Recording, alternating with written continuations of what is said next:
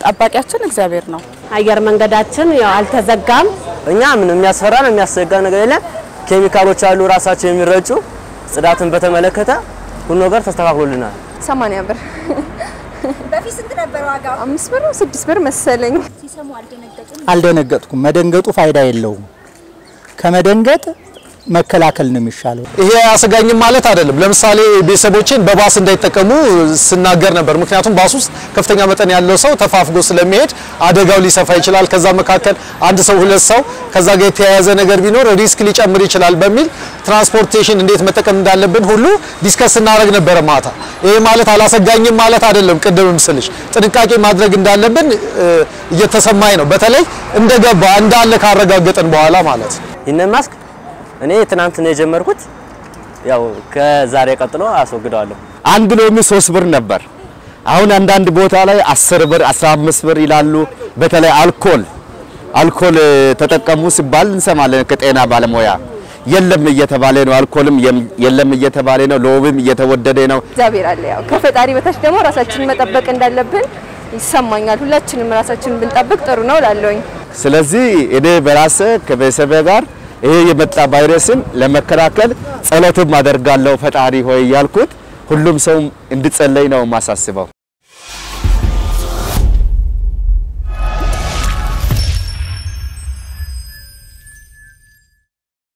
ይሄንን በአጋጣሚ ከሰው ነው ያገኘሁት፣ normally ማለት ነው።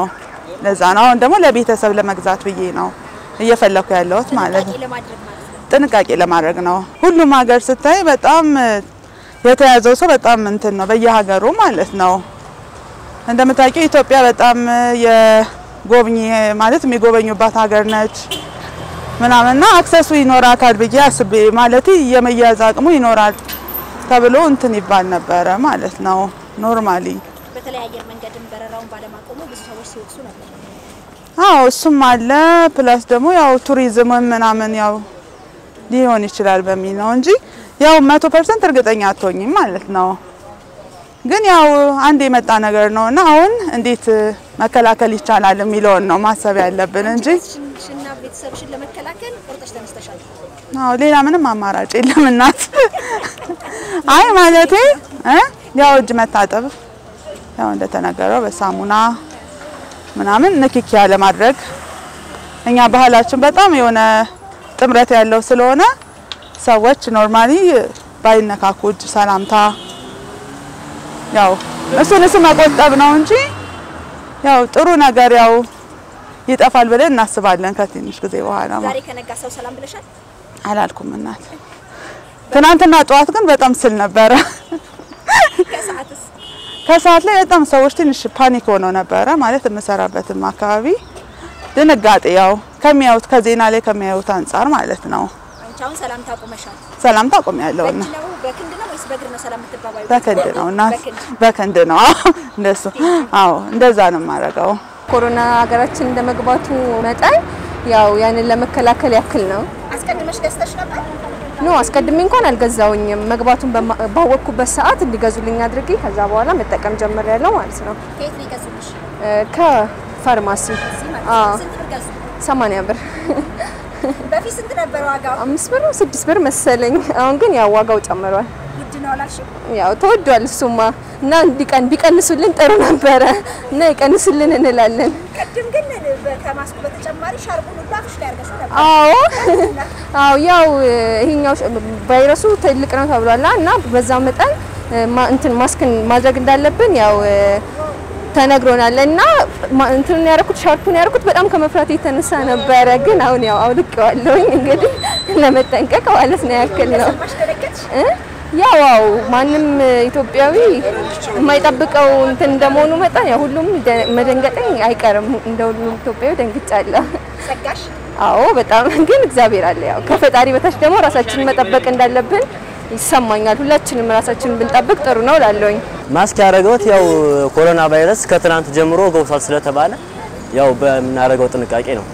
ራስን ለመከላከል አዎ እኔ ራሴን ለመከላከል ያው ስራ ቦታ ነው ያመጣሁት። ከሌሎቹ ለየት ያለ ነው። ሌሎቹ ሲያደርጉት ካየሁት ይሄ ከየት የመጣ ነው? አይ እኔ ስራ ቦታ airport ነው የምሰራ። ድንገት ይዤው ወጣው ከምሰራበት ያው ለዛ ነው። airport ነው የምትሰራው? አዎ airport ነው airlines ነው የምሰራ። እኛ በምንሰራበት በቃ አሪፍ ቦታ ነው። በቃ ሁሉ ነገር ያው አለቆቹም ኳሊቲዎቹም ስላሉ እነሱ ቁጥጥር ያደርጋሉ። ያው የሚመጡ ፍላይቶችም አሉ። እነሱም በስነ ስርዓት ለብቻ የሚያጸዳ ስላለ ለብቻ ነው የሚስተካከል። አየር መንገድ እንግዲህ ቀደም ብሎ ከፍተኛ ስጋት ነበረ በሽታው በተለይ ወደዛ የተመደቡ እና አንተ ደግሞ እዛ ነበር የምትሰራው። አዎ እኔ እዛ ነው የምሰራው።? በስነ ስርዓት ነው። አልሰጋችሁም? እኛ ምን የሚያስፈራን የሚያሰጋ ነገር የለም። ኬሚካሎች አሉ ራሳቸው የሚረጩ ጽዳትን በተመለከተ ሁሉ ነገር ተስተካክሎልናል። ምንም? እኛ የሚያሰጋ ነገር የለም። በደንብ እንታጠባለን። እጅ- መታጠቢያ በየቦታው አለና በቃ glove ም በየደቂቃው የምናደርግ ማስክም ለየሁሉም ታድሎናል። የስራ የጽዳት ልብስ እንደዚህ አሁን ከቻይና ምናምን የሚመጣ flight አለ። ቻይና flight የሚያጸዳ የሚያስወግድ የራሱ ምድብ ስላለው እኛ በዲፓርትመንታችን የሚያስፈራን ምክንያት ነገር የለም።? ይህንን ማስክ እኔ ትናንት ነው የጀመርኩት። ያው ከዛሬ ቀጥሎ አስወግደዋለሁ።? አይ እኔ ያው ለራሴ አግኝቻለሁ። ካደሉኝ ቀይረዋለሁ። ጠባቂያችን እግዚአብሔር ነው በመጀመሪያ ማስተላለፍ የምፈልገው ነገር። ሆኖም ግን የእኛ ደግሞ ድርሻ አለ። ሰዎች ልናደርግ የሚገባን ድርሻዎች ምንድን ናቸው? የመጀመሪያ ያው በሽታው ሊተላለፍበት የሚችልበትን መንገድ መከላከል ነው። የመጀመሪያው መከላከል ሲባል ምንድን ነው? አንደኛ ማስክ በማድረግ እንደ ስራው ባህሪያና ሁኔታችን ማለት ነው። ሁለተኛው ንጽህናችን በንጽህና ጉድለትም ሊመጣ እንደሚችል የተነገረ ነገር አለና እነዛን ነገሮች ማድረግ እንደሚገባን ንጽህናችንን መጠበቅ እንደሚገባን እንደገና ደግሞ ከተላለፈው መልእክት አኳያ ጤናችንንም check ማድረግ በተለይ ምልክቶች ተነግረዋል። እነዛን ምልክቶች የሚገናኙበት አይነት ሁኔታዎች ካሉ እነዛን ሁኔታዎች በወቅቱ ወደ ሕክምና ጣቢያ ሄደን check ማድረግና ከዛም ባለፈ ደግሞ ያው ዋናው ንጽህናን መጠበቅ።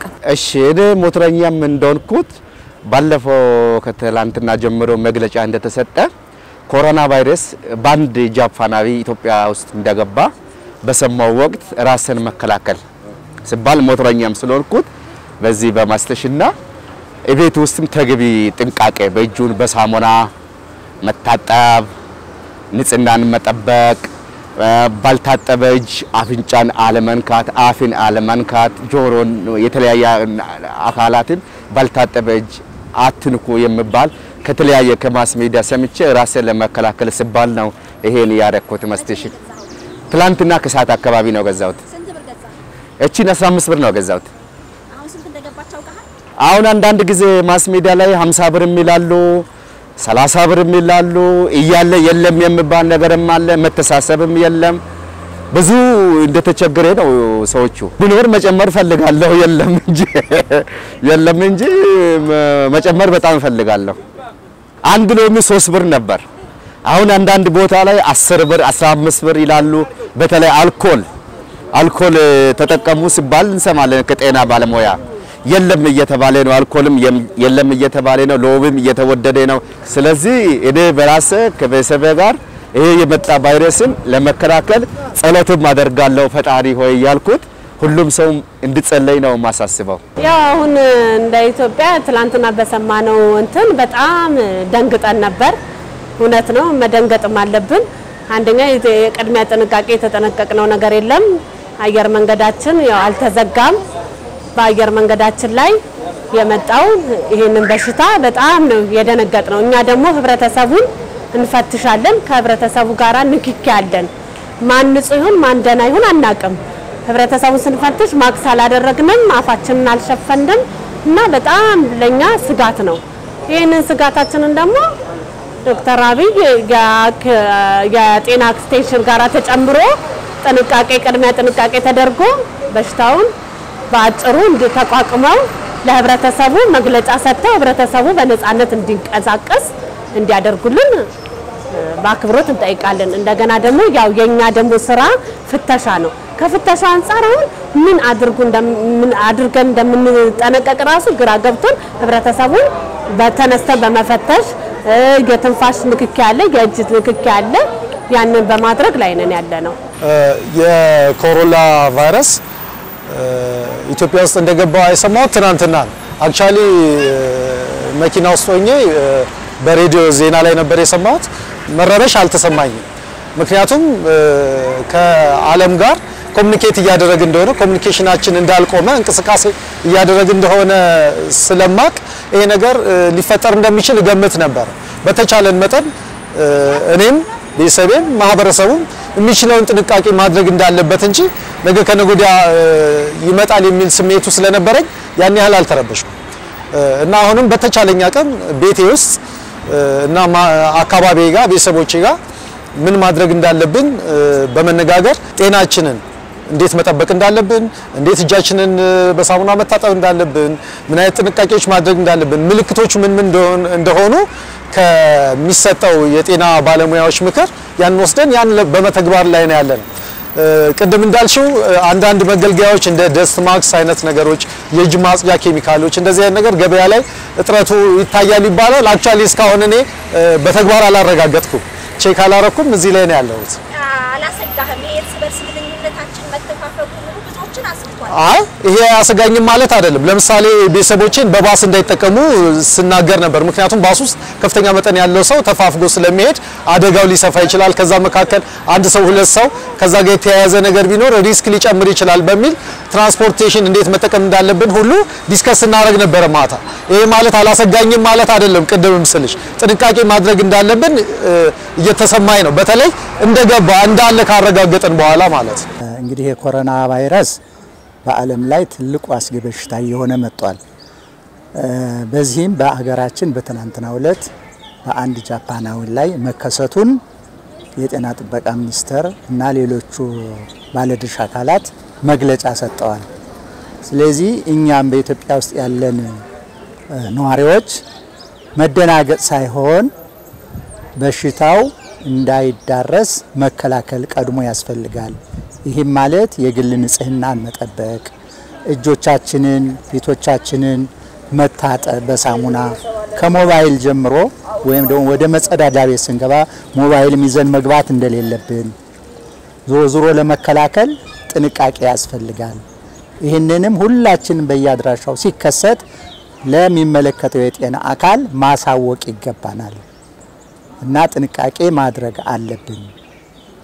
ከአፍ መሸፈኛ ማስክና እንዲሁም ደግሞ የቫይታሚን ሲ ለመጨመር እንደ ሎሚ፣ ብርቱካን መሰል ነገሮች ነጭ ሽንኩርትን ጨምሮ አስቀድሞ መመገብ ጥሩ ነው ሲባል ነበር እና ትናንትና ከተሰማ በኋላ እነኚህ ነገሮች ተወደዋል ተብሏል። እርስዎ ለመግዛት አምርተው ነበር?